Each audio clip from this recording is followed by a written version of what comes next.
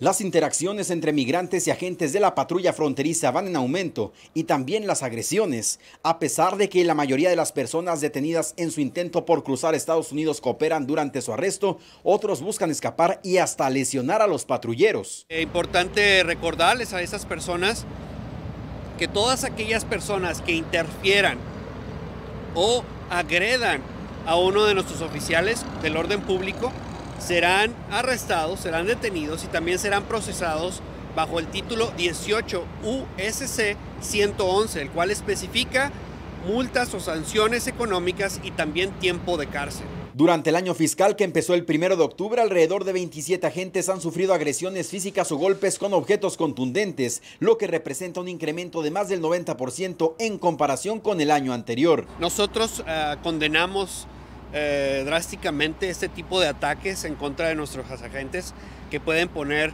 su seguridad en peligro y también la seguridad de nuestra comunidad fronteriza. Según la patrulla fronteriza, algunas de las agresiones son motivadas por grupos delincuenciales transnacionales, pero quienes reciben a los migrantes en los albergues ven diferente la situación. No, no, no, fíjese que la mayoría de la gente aquí son bien agradecidos, vienen aquí con toda la intención de, de tener una vida mejor para ellos mismos. Ahorita que están aquí, llegan con todo respeto, les ayudamos, le tenemos una oportunidad de que tengan donde bañarse, comer. En lo que va del año fiscal 2023, la patrulla fronteriza sector El Paso ha registrado más de 224 mil interacciones con migrantes. César Contreras, Voz de América, El Paso, Texas.